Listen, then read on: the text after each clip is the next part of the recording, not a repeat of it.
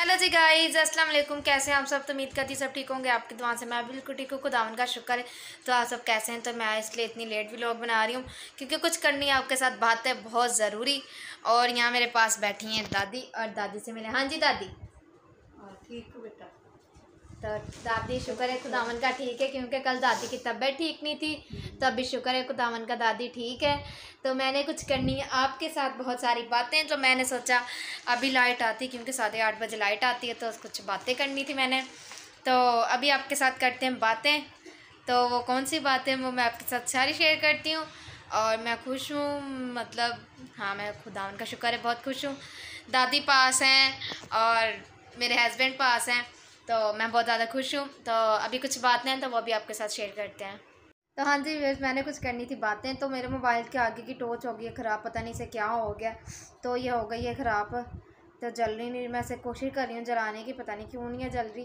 तो आप सब कमेंट कर रहे हैं तो आप क्यों अलग हुई? मैंने काफ़ी दफ़ा में बता, मैंने काफ़ी वीडियो में बता दिया है कि मैं क्यों अलग हुई? कोई ऐसी बात नहीं, कोई ऐसी लड़ाई नहीं है। बस घर के कुछ ऐसे मसले हो जाते, कुछ ऐसी बातें हो जाती हैं जिनकी वजह से हमको अलग होना पड़ता है। तो मैं अपनी मर्ज़ी से अलग नहीं हुई, मैंने आपको अपनी पिछली वीडियो में भी बताया था कि मैं अपनी मर्ज़ी से बिल्कुल भी अलग नहीं हुई, क्योंकि जब तक हस्बैंड की, शोहर की मर्ज़ी ना हो तो कुछ भी नहीं होता। तो ये मेरे शोहर की मर्ज़ी थी, उनकी मर्ज़ी से मैं उनके साथ हूँ और वो मेरे साथ हैं तो उनकी मर्ज़ी से हम अलग हुए हैं। मेरी मर्ज़ी तो वहाँ नहीं चलती ना। तो आप सब कमेंट कर रहे हैं, आप क्यों अलग हुई? ये फ़लान धमकाने। तो ऐसा कुछ भी नहीं है। आप सब मुझे दुआ देने के बजाय इतने बैड कमेंट करते हैं। इतना कुछ बोलते हैं, आप सबने इतने बैड कमेंट किए, मैं आपको बता नहीं सकती। प्लीज़ ऐसे मत किया करें। बस आप वीडियो देखते हैं, मुझे खुशी होती है। आपने आप मेरा हौसला बढ़ाने की जगह आप ऐसे कमेंट करते हैं, इतने बुरे कमेंट करते हैं आप। तो मैं आज आज आपको बताती हूँ, मैं क्यों अलग हुई हूँ, क्या मेरी तबीयत क्यों ख़राब हुई है? तो वो मैं नेक्स्ट वीडियो में बताऊँगी कि मेरी तबीयत क्यों ख़राब है, क्यों डॉक्टरों ने टेस्ट बोले हैं। तो मैं कल सारा बताऊँगी अपनी वीडियो में, जो मेरे साथ हुआ है, कभी किसी के साथ ऐसा ना हो, जो मेरे साथ हुआ है। तो कभी भी किसी के साथ ऐसा ना हो। और आप सब बोल रहे हैं, दादी दादी परेशान है तो दादी मेरी वजह से परेशान है। मैंने पिछली वीडियो में भी बताया था कि घर में कुछ ऐसा मसला हुआ है, मैंने आपके साथ नहीं शेयर करना था, पर आप ऐसे कमेंट कर रहे हैं, आप पूछ रहे हैं तो मैं सो मैंने किसी के साथ सलाह की, अपनी अच्छी दोस्त के साथ, मैंने उससे पूछा कि मैं ये वीडियो में बता दूँ तो उसने मुझे बोला कि मिशल आपको ये वीडियो बनानी चाहिए, क्योंकि लोग बार बार कमेंट कर रहे हैं, आप ये करती हैं, आप वो करती हैं तो ऐसी कोई बात नहीं है। तो मेरे साथ जो हुआ है खुदावन जी, किसी किसी बेटी के साथ, किसी बहन के साथ कभी ऐसा ना करे। तो वह मैं नेक्स्ट ब्लॉग में बताऊँगी मेरे साथ क्या हुआ है। तो बात है अलग होने की। मैं क्यों अलग हुई हूँ? तो मैं अपने शोहर की मर्ज़ी से अलग हुई हूँ। और अलग ज़रूरी नहीं घर में कुछ हो तो अलग, क्योंकि सब बेट जो सास, सासू माँ हैं, जो ससुराल वाले हैं, जिनकी, जिनके बेटों की शादी हुई है, बेटियों की शादी हुई है तो उन्हें मैं तो मम्मा को कभी कभी बोलती तो मम्मा मुझे बोलती हैं मैंने सुलेमान की शादी करके उसे फ़ौर अलग अलग कर देना है। तो हम अलग अलग हुए हैं सब होते हैं दादी? सब होते हैं ना? बेटे मसाले पुत्र होए तो वक्त होए। हाँ क्या? पुत्र होए तो वक्त होए। हाँ दादी बोल रही है मसाले पुत्र होवे ते वक होवे। ते पुत्र होवे तो वक होवे। तो ऐसी कोई बात नहीं है।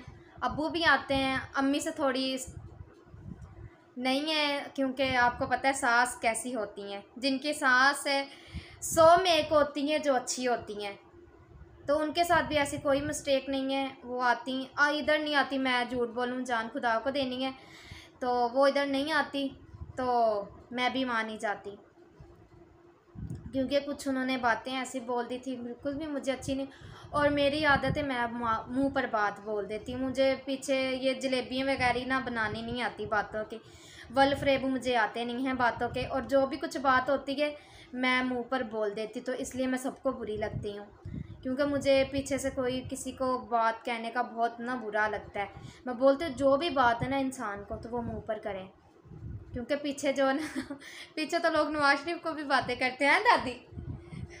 इमरान खान को भी पीछे से बातें करते हैं। बादशाह बादशाह। हाँ तो तो मेरी आदत है मैं ना फे फेस टू फेस ना जो बात कर देती हूँ। मुझे नहीं अच्छा लगता मैं किसी के पीछे से बात करूँ तो मैं इसलिए ना हर किसी के मुँह पर बोल देती हूँ, अगर मुझे कोई बात बुरी लगे तो। तो मुझे, मैंने सोनी को बोला भी था कि मैं, हम वहाँ से आना नहीं चाहते थे।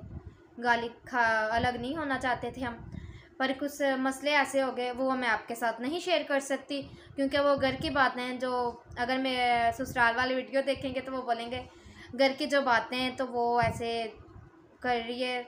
तो वीवर्स को बता रही पर आप मेरी यूट्यूब फैमिली हैं तो मेरा फ़र्ज़ है आपको हर एक बात बताना, पर ये बात मैं नहीं बता सकती। तो मैं इस बार ये बता रही हूँ, कुछ बातें नहीं बता सकती मैं आपको।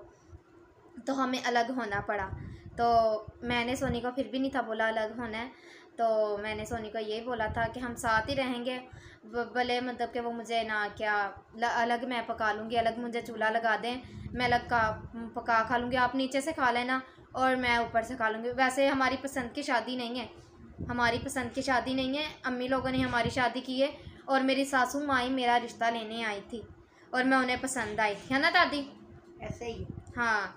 तो फिर भी वो ऐसा करती हैं, पता नहीं क्यों उनको क्या मुझसे मसला है, मुझे खुदा बेहतर जानता है, मुझे नहीं पता। वो ऐसा क्यों उन्होंने ऐसी बातें मुँह से निकाली, क्यों ऐसा किया, वो मुझे नहीं पता। तो वो खुदा बेहतर करे, उन्हें भी अकल दिनाई दे और मुझे भी अगर मैंने कुछ गलत बोला है तो मैं उनसे, क्योंकि वो मेरी माँ है, क्योंकि जैसे मेरी माँ है, उनकी सोनी की भी वो मेरी माँ है। तो वो मेरी माँ है तो मैं उन्हें कभी भी बुरा नहीं बोल सकती। क्योंकि माँ ना बहुत बहुत बड़ी चीज़ होती है। मुझे पता है ना क्यों, क्योंकि मेरी जो दादी सास हैं, उनकी भी बेटी नहीं है तो जो मेरी सास हैं, उनकी भी बेटी नहीं है। तो मैंने हमेशा उन्हें अपनी माँ की जैसे समझा, और अगर मुझे अपनी सास से इतना मसला होता तो मैं अपनी दादी सास को साथ रखती, अपने ससुराल वालों से इतना मसला होता। तो मुझे अकेला रहना बिल्कुल भी पसंद नहीं, क्योंकि मैं हमेशा फैमिली में रही हूँ, क्योंकि हमारी माशाल्लाह बहुत बड़ी फैमिली है। खुदावन का शुक्र है, मेरे बहन भाई हैं, मेरे मामू मामी हैं मतलब कि हमारी बहुत ज़्यादा बड़ी फैमिली हमारा बहुत बड़ा ख़ानदान है तो मैं बड़े ख़ानदान में रहने वाली हूँ। और दादी इसलिए मेरे पास है क्योंकि मैंने दा, दादी वहाँ थी मासों के पास तो मैंने दादी को बोला दादी आप मेरे पास रुकें। और सोनी जाके दादी को लेकर आए थे तो मासू नहीं आने दे रही थी दादी को।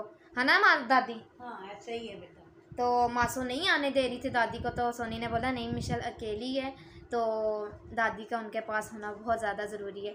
तो मैंने भी बोला था सोनी आप दादी को लेकर आना। और फिर सोनी दादी को लेकर आए और दादी का खुदा उनका शुक्र है। दादी अभी ठीक है दादी मेरे पास हैं और मुझे इतनी खुशी होती है दादी चलती फिरती रहती हैं घर में और मुझे टोकती रोकती रहती हैं क्योंकि क्योंकि बड़ा सिर में सिर पर होना ज़रूरी है ना?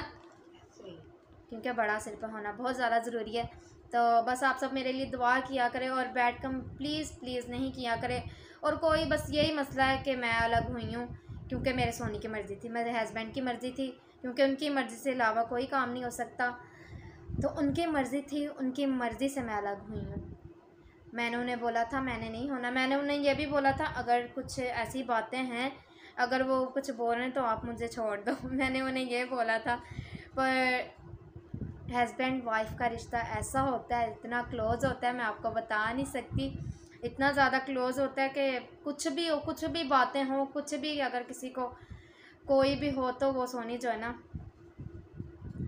वो मतलब कि उन पता नहीं उन मुझे ना उन, उनको मुझमें क्या नज़र आता है क्या है वो मेरे से बहुत ज़्यादा प्यार करते हैं। हमारी लड़ाई बहुत होती है, बहुत ज़्यादा हमारी लड़ाई होती है, नहीं हमारी लड़ाई नहीं होती, इतनी हमारी लड़ाई होती है, मैं बता नहीं सकती। तो फिर भी प्यार भी उतना ही हमारे में, इतनी हमारी लड़ाई होती है, प्यार भी उतना ही है। तो अम्मी जब भी आएँगी, उनका अपना घर है, उनकी मैं बेटी हूँ तो खुदावन ऐसे ही हमें मुस्कुराता रहे, मुस्कुराता रखे तो कुछ ऐसी बातें हो जाती हैं जो इंसान को जहनी तौर पर डिस्टर्ब कर देती हैं। कुछ ऐसी मुँह से बातें निकल जाती हैं जो दोबारा वापस नहीं जाती। तो इसकी वजह से तो वैसे तो हमारे ससुराल, मेरे ससुराल मेरे ससुराल वाले बहुत अच्छे हैं, मेरी दादी सास बहुत अच्छी हैं। अबू बहुत अच्छे हैं, अबू सुबह भी आए थे, अबू आते जाते रहते, अबू मेरा पता करते रहते, अबू कहते हैं, बिल्कुल भी परेशान नहीं होना, हम तुम्हारे साथ हैं। तो अभी सोनी पर ड्यूटी पर हैं। बस आप सबने मुझे दुआओं में याद रखना है, बहुत सारा प्यार देना है मेरे चैनल को लाइक सब्सक्राइब शेयर ज़रूर करना है अच्छे अच्छे कमेंट्स करने हैं।